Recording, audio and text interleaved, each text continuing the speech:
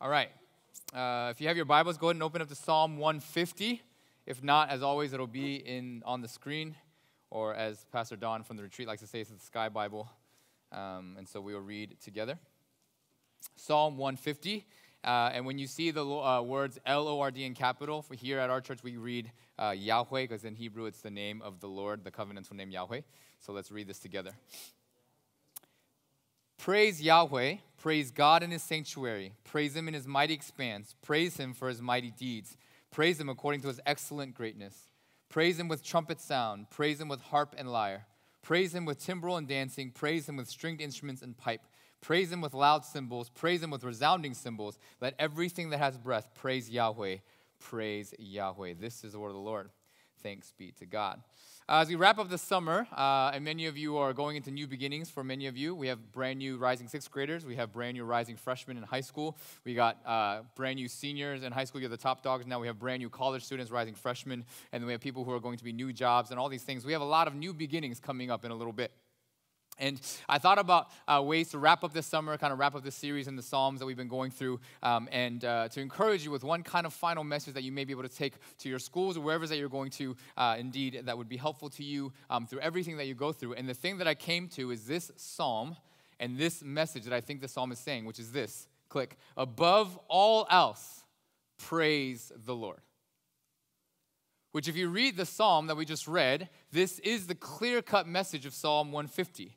In fact, it couldn't be more clear because every praise him in the psalm in Hebrew is in the imperative, it's a command. Praise the Lord, do it. It's not a suggestion, it is a simple and honest command, and a really strong one at that.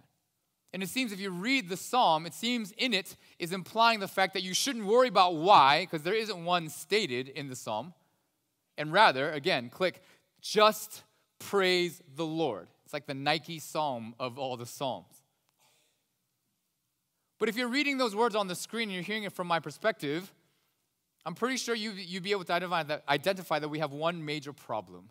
And that in the world, no matter how old you are, nobody likes to be told what to do. And more importantly, nobody likes it, especially when Christians tell you what to do. There go those stupid Christians again with all those stupid rules do this, do that, so uptight about everything that they are. As my kids often do, I'm reminded all the time that we do not like to be told what to do. We, when we hear this psalm, when we hear it this way, we want to scream, Why? Like, why should I praise you? Reminds me of a situation that I had with my kids the other day. I said, Okay, everyone, to my three kids, it's time for alone time. Go do something quiet on your own for a little bit, please. First, the three of them act like they didn't hear me, as if that's possible because my life, as, uh, my uh, voice, as you know, is super loud. But they try to pretend, and so then I go, I said, go.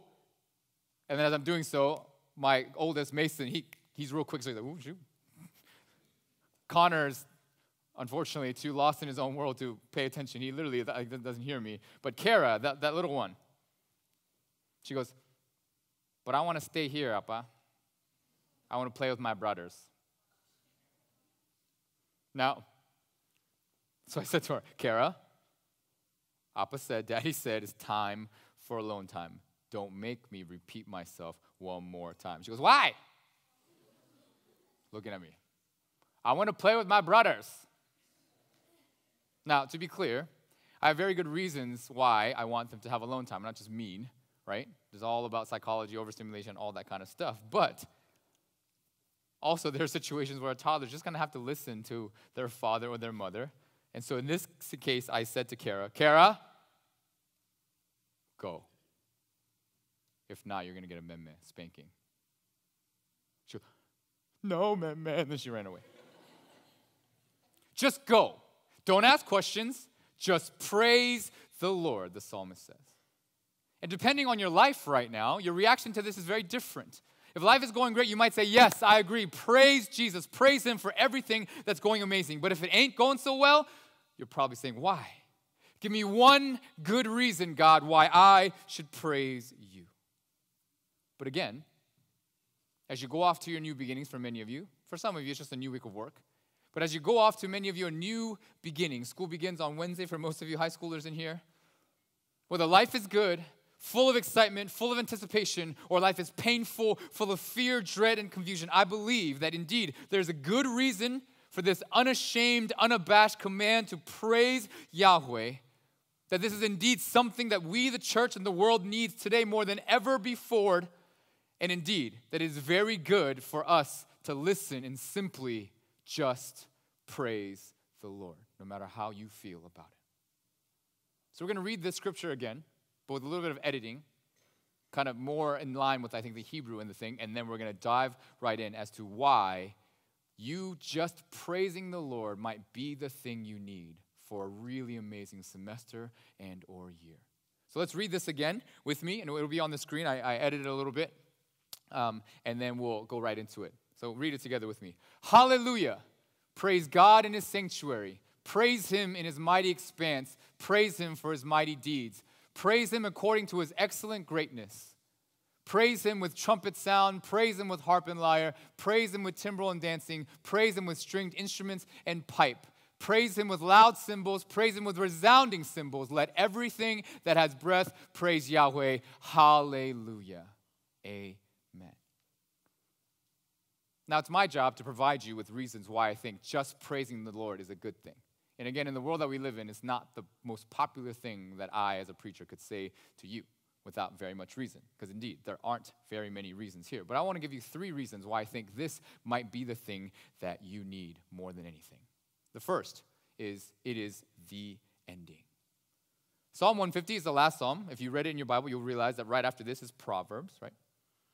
So then Psalm 150 is the glorious finishing touch to an amazing collection of prayers collected over many, many years. Now, interestingly, uh, the thing about Psalm 50, as we uh, briefly touched on this last week for those of you here, the five Psalms, Psalm 145, 6, 7, 8, and 9, the five Psalms before this are also strictly celebration Psalms. All they do is praise God, right? And so Psalm 150 is kind of the conclusion of all of those five praise Psalms. Now, more interestingly, I think, the Psalms are divided into five separate books. Like maybe you can look at it as five chapters chapter one, two, three, four, and five. And at the end of every single one of those books, there is a benediction, a note of praise that happens that I wanted to show you, right? Click. Psalm 41, 13, the end of the first book. Blessed be Yahweh, the God of Israel, from everlasting to everlasting. Amen and amen. Click. Psalm 72, 19. Blessed be his glorious name forever, and may the whole earth be filled with his glory. Amen. Amen. Next, Psalm 89, 52. Blessed be Yahweh forever. Amen. Amen. The end of book 4, Psalm 106, 48. Blessed be Yahweh, the God of Israel, from everlasting to everlasting. Let all the people say, Amen praise Yahweh or hallelujah. And then, of course, the last one we just read, Psalm 150, verse 6 let everything that has breath praise Yahweh, praise Yahweh. Now, if you look closely at them, or if you go back and read those uh, at some point, you'll notice that all the endings are kind of similar. They have, they have similarities, that one of them always has a similarity with another one, and they're kind of connected in some way, right? And they share this common thread and what it shows you is that whoever put together the book of Psalms all together, they had a very intentional understanding of the way that they collected and concluded these Psalms. And the easiest conclusion you can make is simple praising God is the end of the Psalms. It's the way you want to finish. Praising God is the way you want to finish anything that deals with prayer, it's, it seems. The psalmist is not like being trying to be cute, he's just being very frank and direct. The way you want to end prayer and the Psalms is to praise God. It is the only fitting end. Now, you may ask, as a smart observer, and say, Pastor, so what? Like, just because you're a smart guy and you put together a bunch of stuff and you orchestrate this ending, right, doesn't make it actually right or the best ending, right? And honestly, if I'm just being straight with you, Pastor, my prayers don't end in praise. They seem to be endless dead ends that don't ever seem to actually work. It's like I'm calling God, but ain't nobody answering on the other end. But maybe you need to ask yourself just because right now you can't see a good reason to praise God doesn't mean that there isn't any reason at all to praise God. There's that song, 10,000 Reasons, and more, I would say, right? Now, I'm not trying to minimize your hurts and your pains, they're real. But the whole of who you are and the whole of the world isn't limited to your own pain right now. Isn't this what we learned throughout Scripture? We have retreat. For those of you that were, we learned through Job's Job, Job's story. Whoa, Job's story, right? That God's view of the world is so much greater than what you and I think. When Job is angry for all the things that are happening in his life, and indeed he wants God to answer him, God doesn't actually answer him. He just says, Were you there when I make the stars? Are you there when I put the sun in the sky? Are you there when I do all these things? And the answer is no, because you can't see the world the way that I do, Job. Your life, it's difficult right now. I see that. I know that, God says. But there's a greater glory that you cannot fathom right now. And if you can't trust me, think of all that I have done and I'm doing that will remind you, hopefully, that you can indeed trust me. Could this be indeed the reason why the Psalms, or at least this psalm indeed, doesn't include any real reason to praise God? That it doesn't even try to attempt the answer, to answer the why question as to why we ought to praise God? Now, I don't think this is God just being pompous and super prideful but more saying to us, the other 149 Psalms and the rest of Scripture give us plenty of reason to praise God. And the 150, the very end, is just the call to do it. I think it's almost telling us don't forget. Don't forget about the cross. Don't forget about the empty grave. Don't forget about the ascension. Don't forget about the promises. Don't forget that indeed there's a new heaven and a new earth that gives us reason to praise God in all seasons. We already have many reasons, do we not? Now, there are reasons to lament. Thanks be to God. And Psalms, the entire book shows us that we can indeed lament, and thanks be to God for that too. But I think what it's trying to say is that if you spend enough time with God, you will see that there are abundant reasons to praise Him all over the place.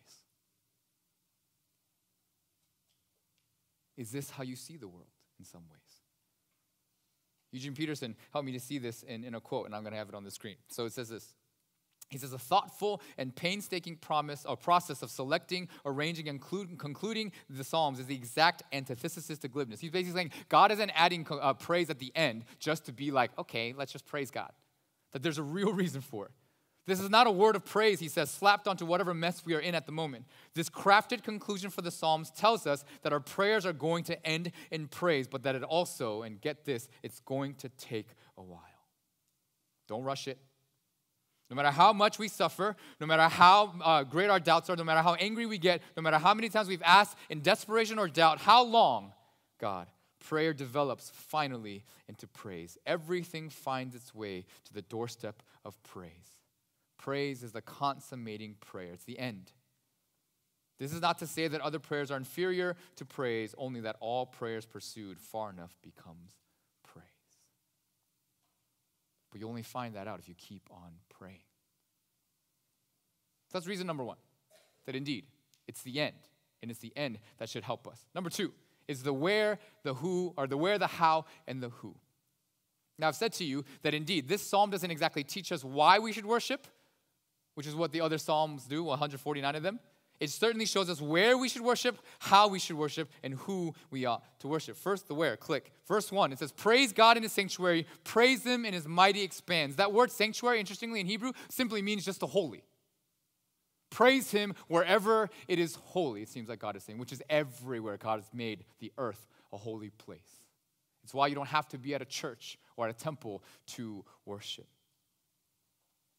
But indeed, also, click, praise God also in the expanses, in the heavens. Simply put, what God is saying is praise God everywhere. Everywhere and anywhere you can praise Him. You can praise Him on the streets of the French quarters in Nola, surrounded by a bunch of drunkards on Bourbon Street, sitting next to a homeless person eating Popeyes, which is what our students did in, Northern, uh, in, in New Orleans. Praise Him everywhere and anywhere, it says. Then God says, here's how you should praise Him. Click. Now, there's a bit of debate for this verse, but it says, Praise him for his mighty deeds, praise him according to his excellent purposes. I have it highlighted there, and that's because those two words or those two phrases in Hebrew are the exact same Hebrew word. And actually, it's most translated in, at, or which, or with. But most Bibles translate it for, or most Bibles translate it according to, because if you, depending on what word you use, it kind of makes a difference. Now, our translation, the NASB, chooses one of both. It's like trying to play both hands, it seems to me. But if you look at the Hebrew, I think what this praise, what this uh, verse is trying to say is this click. Praise him in line with his mighty deeds. Praise him in accordance to his excellent greatness. It's saying when you think about how good God is and how great his deeds are and what he's done, praise him like he deserves it. It's like if you go and see an amazing performance. My wife and I watched Hamilton at the Hobby Center. It was amazing. And at the end, everybody stood up and they kept on clapping. And they really, literally couldn't stop clapping because it was so amazing. You clap to the amount that you think the performance is awesome. And what it's saying is you praise God in accordance, in line with, to the degree he deserves his praise. And it's insinuating that is indeed forever, isn't it? Then the next thing he, they tell us is also then the how, another how, verses 3 through 5, with trumpets, harp, lyre, timbrel, dancing, stringed instruments, pipe, loud cymbals, and resounding cymbals, with literally anything and everything that can make noise and express. Not yet. Too fast. Can you imagine all of those things making sound? For instance, we drum up our mics because it's just too loud without it. But imagine if it was just unfurled and everything was just out to go. That's the kind of praise God wants with every instrument you can think winged instruments, winged, stringed instruments, winds, percussion, dancing, and everything. Now I know as Koreans, we don't really like to get down and dance too much. Unless you know you're in the privacy of your own room with a little bit of music that you turn up that nobody else you know knows that you listen to, things like that. But with everything you have, praise Can you imagine the sound that would make if all the people in the world did this and indeed praised God? And lastly, the psalm tells us the who of the praising. Let everything that has breath click. And to the Hebrews, to the Jews, this meant literally everyone. Not just Israel, click, not but all the nations. Not just humans, but all of creation and all the heavens and the earth, not just earth. Everything that has breath, all of it, praise Yahweh.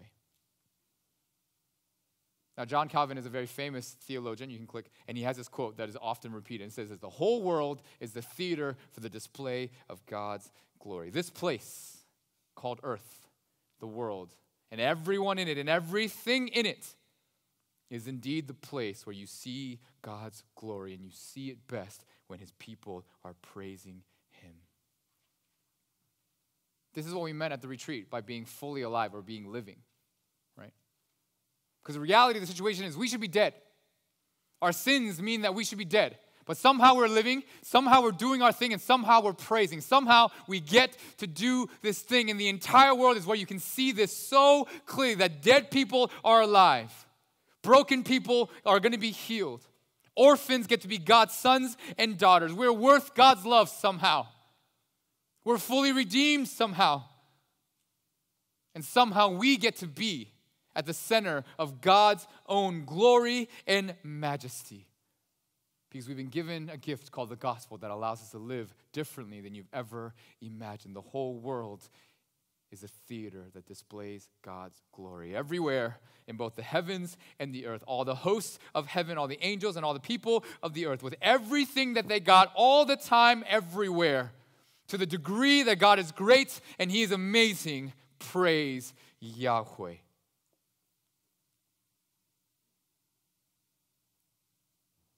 It's an amazing thing to be told to do so because we're not actually supposed to do so, not according to, or indeed, our own sin.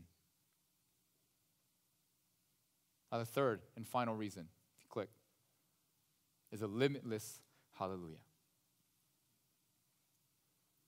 Because at this point, many of you probably, because I know many of you, probably thinking, Pastor, like, that sounds great. And you're using your loud, convincing voice again. And of course, when you do that, people don't like to think, and people just think that what you say is the truth. But if you're really being honest, Pastor, like, you really haven't given us indeed a lot to kind of grab onto. Okay, praising God is cool. Yeah, I get it. Okay, how and the who and the why. Okay, that's all good. I get that, sure.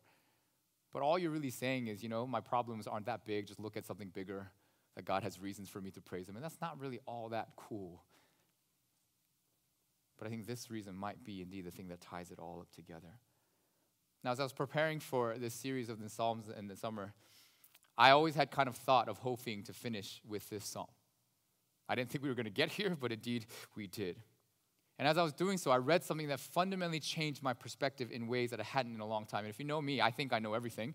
And so it takes a lot to convince me to change my perspective on anything. And when I read this, it completely shattered what I was thinking. So I'm going to give you a little bit of background in terms of what he's talking about, and it's from Eugene Peterson from this book called Answering God, and I'm going to read it for you. It's kind of long, stay with me, but indeed, I think it's going to be worth it. Now, in the, no, not yet, sorry. Wait till I say click, just kidding. Now, before he gets to this long quote, he says this. He says, The book, the title of the book, of the entire book of Psalms, interestingly, in the Hebrew and the Greek translation, is called the Book of Praises, literally. The Psalms is the book of praises. And I won't get into the, all the you know, Greek and all the Hebrew as to why. And interesting, the word Psalms comes from the Greek psalmoi, right? Which actually means just song. Psalmoi in Greek means song. So literally, this book can just be called praises. And Eugene Peterson has this question that he asks, and he goes, That's an interesting title because if I look, and I said this last week, the majority of the Psalms are actually not praises, they're laments. They're sad. They're cries of anger and hurt and pain and all these other things. And so Eugene Peterson, he goes, Wait, so does that mean that the book is just like this hoax? It's this fake advertisement that indeed everyone thinks it's gonna be praises, but it's not? And if we're being honest, if you read through the Psalms, the Psalms make us, even more than we would like to, go deep into the hurts and the pains and the reality of who we are more than any other book, maybe in the entire Bible. And so, how is it that this book is going to be called the book of praises when it seems to be the book of lament, hurt, cry, pain, and tears? Is it a trick? And to answer it, this is what he says. And again, it's long, but stay with me as I read it for you. Now you can click. Praises, as a title, is not statistically accurate, but is accurate all the same. It is accurate because accurately, it accurately describes the end, the finished product. All prayer pursued far enough become praise. And we've seen that so far. At least he's told us that so far. Any prayer, no matter how desperate its origin, no matter how angry and fearful the experience it, it traverses, ends up in praise. No matter what it is, it gets there, right? And any uh, and it does not always get there quickly or easily. The trip can take a lifetime, but at the end is always praise. Praises, in fact, is the only accurate title for the prayer book, for it is the goal that shapes the journey. The end is where we start from. Did you catch that?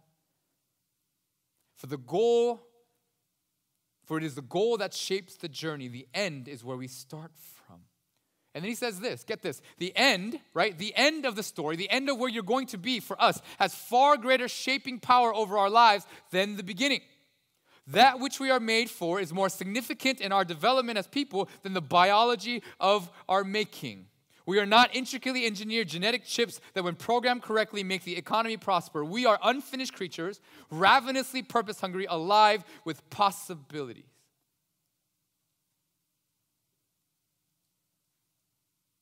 For humans, the future is the most creative and the most essential aspect of time. The Bible spends only a few pages establishing the conditions of our beginning and then several hundred pages cultivating in us a taste for the future, immersing us in a narrative in which the future is always impinging upon the present. What I want to be when I grow up, he says, has far more influence on what I say and do and become than the genetic code I received at my conception. All prayers, by definition, then, are directed to God, and this aim brings them finally into the presence of God, where everything that has breath shall praise the Lord. Basically, what he's saying is we like to live our lives only thinking about where we come from, what we've been given, our genetic code, and the things that we have. But the Psalms teaches us that indeed the thing that's most shapeful of our lives is not where we come from, but where we're going. The end to which we will arrive, that God promises that indeed we will arrive. See, the world that we live in, right, and the lives that we want are never going to be exactly as we want them. I think no matter how old you are, you know this to be true. Before we went to the retreat, I asked the counselors, hey, just as a, just a funny question, I said, hey, when would you like to be married? And how many kids would you like to have? It was a stupid exercise in many ways because everyone knows in here it's most likely 95% not going to work that way. But it's good to dream, maybe. And most people say it's a stupid question because, again, it's probably not going to happen that way. But Eugene Peterson is telling us that there's something different. You see, because of our sin, life won't go exactly the way that we hope for. Which then means for me that we as people must decide what we are going to do, how we are going to react when things in our life go terribly wrong. When the person you are dating dumps you for no reason or cheats on you for no good reason and your relationship is over in a flash. When for whatever reason, all the work you put in to get into the school and the program that you want doesn't go your way and you got to delay a year or never get there. Or when your parents or somebody that you love contracts a disease and they pass away, leaving you alone, abandoned, with no money and no place to go. No matter what happens in life, it just doesn't get there the way that we want to. And the actual question is what are we going to do when this actually happens to us? How are we going to react? Now, the good Christians in here will say, I'll pray and I'll seek God. And perhaps you will indeed pray and seek God and trust. But the more critical question is not that you'll pray and seek God and trust, but for how long? When does the patience run dry? What happens when it doesn't get any better but gets worse? What do you do then? And inevitably, in this situation, somebody will tell you, bro, sister, just call it quits, give up, let it go. God clearly doesn't care. He clearly isn't listening. And all of this is for nothing. Even if you think God's real, and if he was, then he may be real, but he don't care, and that might be worse, people will say. And I've said this before, maybe you do give up at that time. Cool. And then what, right? What hope do you actually have? I said this last week or many other weeks. I said either you can walk through the valley, death valley, with God or without God, because there isn't any other choice. It's either alone or with God. But as I continually pondered what Eugene Peterson had said, it dawned on me that when I say that it's better to go through the death valleys with God than without God, that's actually good, but it's not good enough. That there's another step that we need to go deeper that I didn't get to that gives us the reason why we need this Psalm 150 to be the ending of all the Psalms and the thing that you need as to where you're going to go this fall. Why just praise Yahweh is indeed a critical thing that you and I need, whether you feel it or not. Now, let's be real honest, and I need you to be honest with yourselves. I think most of us in here, at one point or other, maybe even now, praised God or praise God, prayed to God or pray to God, trusted God or trust God in all honesty because we want something from Him. Interestingly, deep inside, we know that we alone are not enough to get through this world. We all know deep inside that I alone don't got the answers. I alone don't have all the remedies. I alone don't have the power or the solutions to everything that I'm going to face. I need something bigger and greater than just me and my brain and my know how. It's why we pray and trust in a God, isn't it? It's why we religions exist in any sort of shape and or form. But as we do, inevitably, as I said, we end up doing which is what the psalm is trying to get us away from. We end up praying, we end up praising, we end up trusting, we end up serving all of it because we want to extract something from God in some way, shape, or form. You want something from God. I want to get here, and this is what you're going to give to me so I can get there, God. That's really what we're after, isn't it? If I pray long enough, if I serve long enough, God will protect me from all the crap that everyone else goes through in life. He'll bless me with A, B, and C, whatever A, B, and C are to you. It's as if we're like my kids, and I got the thing that they want. I got the candy bar that they want. And I got it in my hands. And my kids will try as hard as they can to kosher me, to talk to me, to do something to me, to sweet talk me. Carol will give me those beady eyes and say, Daddy, please, I love you. Or maybe, like Mason does, sometimes he'll try to divert my attention because he's getting older. Maybe in that sense, I'll look away. And while I'm looking away, he can go snatch whatever it is that he wants out of my hand like that. That's what you want from God. Or if I say the right things, he'll say, okay, here, everything you can have, you can have it all. Do it, get it, go for it. But the question that we must ask, and I think this psalm is begging to be asked, is Is this why we follow God and trust Him and love Him? Just so that we have someone to guide us through the death valleys and get us to where we want to go?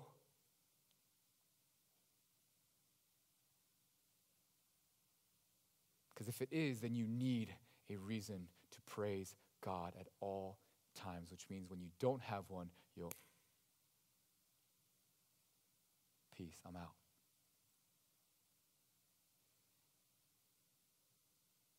But Eugene Peterson says all prayers are directed to God, which means that the aim, the goal of all prayer, praise, everything that we do is God, which means that the end hope of all of this, the end hope of prayer, the end hope of praise, the end hope in all of it is God Himself and nothing else. It's why that John Piper quote that I love, that I quote to you all the time, says, If I could give you everything you want, heaven, all the people you love, all the things you enjoy, all the food, all the exercise, and everything you could possibly ever want from this world, and yet you don't have Jesus, will you take it? Take it one step further. What if I give you all those things and just replace Jesus with something else? Anybody else, will you take it? Is it good enough for you? For many of us, the answer will be yes if we're merely trying to get something from God. And if that's the case, you're not going to get much in all honesty. But if you are after God Himself, then the result is totally different. Now, get this, and this blew my mind. I told you earlier that this psalm teaches us how to praise, where to praise, and who ought to praise, right? And if you look, if you think about everything of the descriptions, right? Praise him like this, praise him with this, praise him here, praise him this. I think it can all be summed up by one word, click, which is limitless. Limitless. Where do you worship? Everywhere without limits as far as your eye can see, as far as your mind can think of, in the earth and in the heavenly places, everywhere, they worship. How do you worship? Without ending, giving praise to God for as great as He is. And how great is He? Limitlessly great. There is no end to how great God is, how big He is. He creates the world by speech, and He dies and rises again because He can. How do you worship? With all the instruments of the world, with your body in every way, form, and possible, with as much noise as you can possibly make in a limitless way for all time and for everyone to hear. By who? By everything that has breath. Everyone in a limitless way. You praise in the limitless expanse of the world that God's created. You praise uh, the God for his limitless beauty and his limitless glory, and you praise everyone limitlessly, all who has breath. But there's one thing I forgot to mention. That the attention of the psalm isn't actually we, where, or how we praise, but who we are praising, which is God, who can indeed be described by that word as limitless in his glory in his beauty in his power and any other adjective you can give to him except for evil and hurt and pain and shame.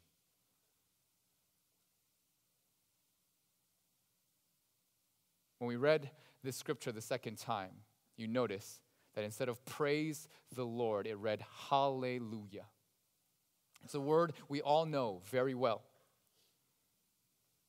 And it's because in the word in Hebrew, it's literally in the psalm. Instead of praise the Lord, it's hallelujah.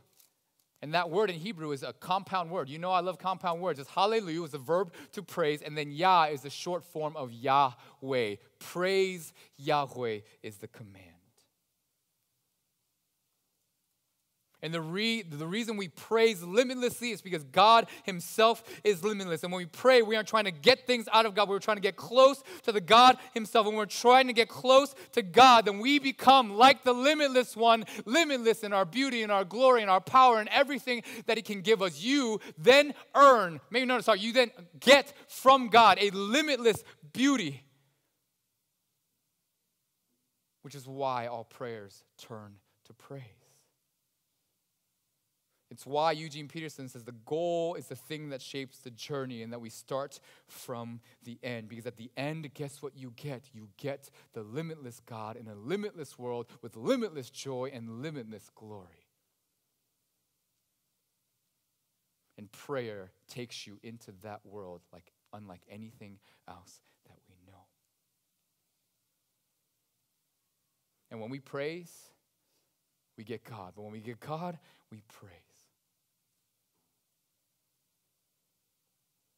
In the same section, I won't quote it for Eugene Peterson has this little thing. He says in Psalm 13 is this weird psalm where basically people are crying out in pain and anger, like there's a God, God, why this, God, why this, God, why this, and all of a sudden, without any reason as to anything, nothing has happened, and randomly at the end of the psalm, it just says, "Praise God," and then he goes, "What? Why?" And he says, because in life you'll find that there are times when you are praying in the midst of the craziest pains, hurts, and confusions of your life. And though nothing ever really happened to change the situation, somehow, some way, for random reasons, it says praise erupts out of your soul. That somehow the act of praying the worst things produces a spring of praise. If you're at the retreat, we saw this. One of our brothers shared during expressions that he actually hates his real life brother because of all the things that happened. And though there's supposed to be shame and embarrassment in that statement, we prayed with him.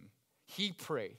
And that next day, I watched him praise, hands lifted up, giving everything that he could. And if you know anything about us, I don't ever tell you how to praise. I don't tell you to lift your hands because it's more holy. I don't tell you to do any of that stuff. Why? Because I want it to be authentic. So he, there he was, knowing that he just told the entire group that he has more love for his friends than his actual brother, praising the Lord, erupting. I felt like that was just praise erupting. Why? Because when you pray and draw closer to the limitless God, you become limitless in your praise. It's what happens, and that's what you and I need. Not to think of the reasons why we need to praise him, but indeed be so in awe and surrounded and enraptured by the limitless and amazing God that you spring forth in a limitless praise just because you know it's the appropriate thing to do.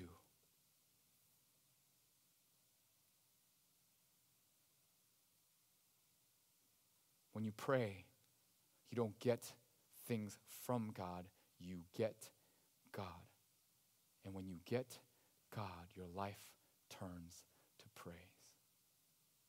But maybe, just maybe, we're too busy focusing on, on all the other things in our life that aren't great, rather than focusing on the one who desires you more than anyone else you could ever fathom. Just praise the Lord the psalmist says, so that you can indeed take yourself away from your pains and into the glorious greatness of our God, and that'll cause you to praise, and you will never regret that, I promise, he says.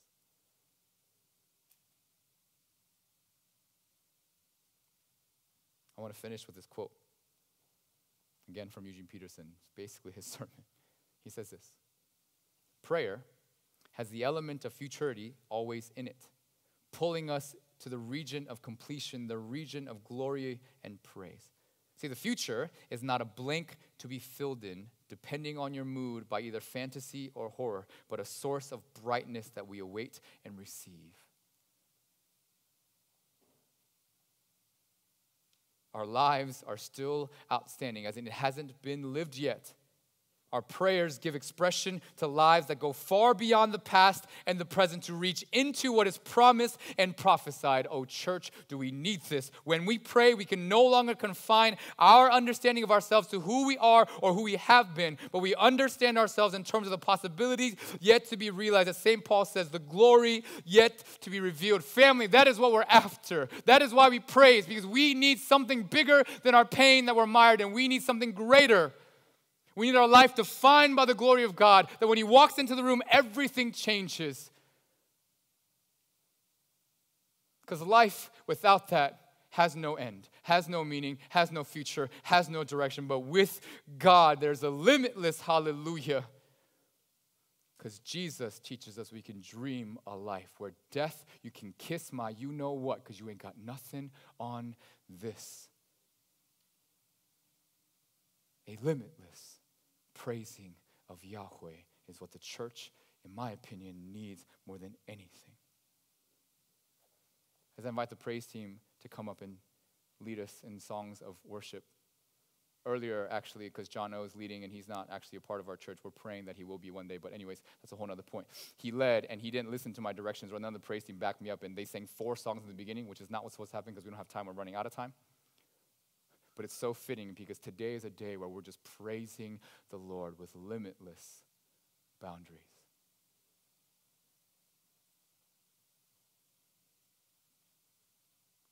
Pastor Don at the retreat talked to us about the ascension of Jesus Christ when he goes into heaven.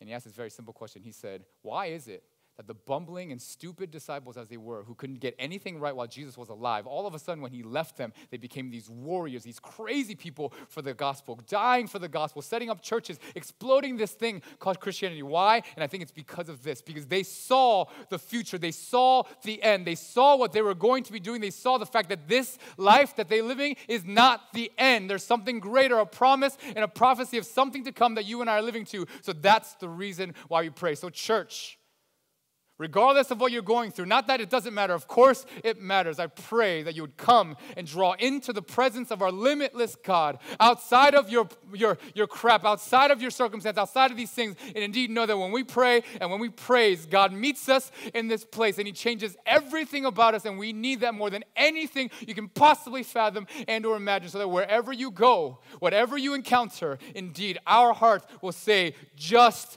hallelujah. So that the limitless one can make your little life one without boundary, full of glory and beauty that you cannot fathom on your own. So I'm going to invite you. Normally, I ask you to respond, but I don't think there's much responding, but just to sing. And we're going to sing these two songs, Life Defined and When You Walk Into the Room. We sung them at the retreat a lot, but indeed, this is what it says. I want my life defined by what you have done and where I am going, so that when you walk into any room, you change everything about it, regardless of what's happening in my life, because He indeed is greater. And we pray, we get this God, not something from Him, but we get Him. My, my children have learned the better thing is to go with daddy so you can get whatever you want than to ask him to bring him bring them back something. Because when you go with me it's literally limitless. Because the daddy is the one who has the power not the things he gives you. So church will you rise and join me in worship of our endless and limitless god saying you are the one we praise brought into the presence of his glory free to live, free to dance, free to sing, free to pray, free to cry, free to be who you were meant to be. So we pray for us. Will you rise? And John and the crew will lead us out in songs of worship and praise. Oh, Father, greater than anything and everything that we've ever imagined and or seen.